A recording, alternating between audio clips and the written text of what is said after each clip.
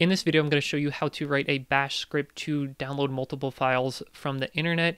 And there's kind of a backstory to this. I recently had my yearbooks digitized through a service, and then they put them on their website and I went to look at them. And my ultimate goal was to uh, have a PDF copy of this, but they were all individual images, and I didn't want to sit there and download all the images. So what I did was I wrote a script to do that. And I'm going to show you pretty much the step by step of what I went through to do that. So here is the website with my yearbook. If I click on the yearbook either here or flip through it right here, um, you'll you'll be able to see it page by page. So the first page looks like this, and then there's a couple blank pages, actually three blank pages, and then a map of our school. So let's go back to the first page and then uh, they want you to buy it. They limit the amount that you can preview here. So let's go back to the first page. I'm going to open up Chrome Dev Tools and I have it filtered. I'm on the network tab here. It's probably default filtered by all, but I can filter it by image. And you'll notice if you look very closely at these little icons that this one right here matches up with the first page in the yearbook. Okay, so uh, what's cool about Chrome DevTools is you can uh, you can see the URL here, but you can actually right-click on it and copy the link for this image. Okay, so I'm going to open up a new tab here and paste that in, and we get just that image. Okay, it's called 0001.jpg. Now that to me is a clue that most likely the next page is going to be called 000 2.jpg. But let's let's confirm that. Let's flip through to the next page and see if we can see that loaded somewhere down here. And there's a lot to sift through. Um, but maybe we can spot it somewhere in here. And I think I just saw it. There it is. So uh, it looks like it's prefetching page 2, 3, 4, and 5 which is great. Now, the only problem is all this extra garbage after the question mark sign, which I figured out you don't actually need that. It'll still serve the image.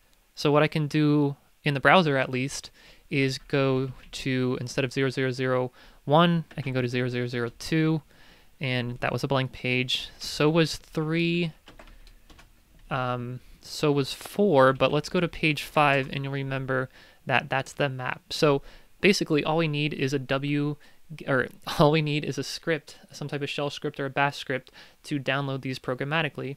Um, I'm going to show you how to do that, but I'm going to show you how to get one page first, and then we'll put that in a loop to get all the pages. So uh, let's go back to the first page, and we're going to copy this URL, and very simply, let's use the wget command. And I'm, I'm working in terminal here I'm on a Mac. Uh, you might be on Windows. Uh, you might have to install the wget command if you're on Windows or even on Mac. I'm not sure if I installed it, but um, anyway, go ahead and make sure you have that command which downloads files from the internet, and then you can paste in that URL and hit enter and that's going to download it right to my computer. So in this directory which I'm working out of, uh, we now have a file called 0001.jpg. So let me find that on my local file system here. And we can see this happen in real time. So there is that image on my local file system, and it looks like that. So let's, uh, I don't think we need this anymore. We'll just minimize it for now. And we'll put these guys uh, above and below each other so we can monitor what's going on.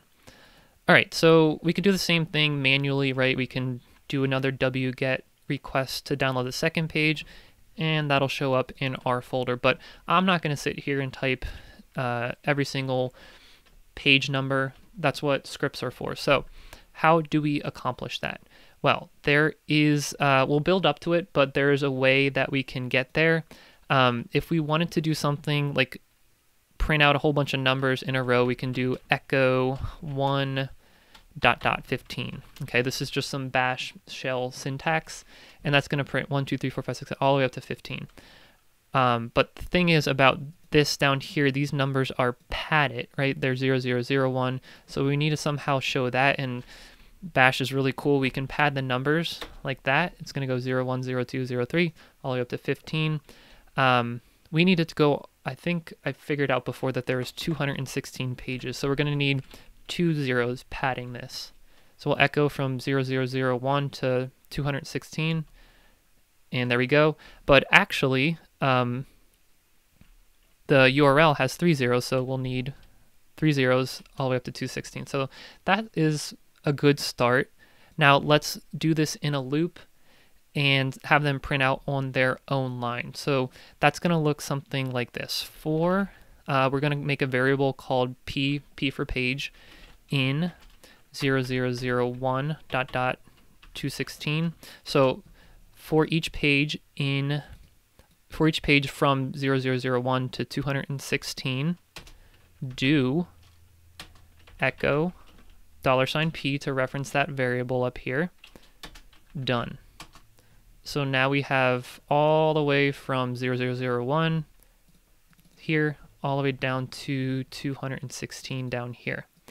So let's take that a step further and do, uh, let me just start over, for p in 0001 dot dot 216. Do this, we're going to do echo, okay, and it's going to be uh, a little bit different syntax this time. We're going to close enclose everything in quotes, and this time to reference uh, the page number, we're going to do dollar sign open brackets p close brackets close bracket, and that is going to expand because we're in the quotes here to the number and then we'll do dot .jpeg because that is the file extension here. So let's see what that prints out. Oh, and then we have to do uh, done. Very good. So we're, we're pretty much building up the, the name of the file here. Uh, what about everything that comes before that, right? So we have, if we go back to the URL, what was the URL? Uh, this right here. Let's prefix that. Everything, come on, everything from here to here. Let's tack that on the beginning. And let's see if we can reuse this up here. So uh, pretty much we'll paste that in right after the quotes, right? So for every page, echo the URL uh, .jpeg. Let's see what that does. So now we have a list of all the URLs and all the pages in the yearbook. That's perfect.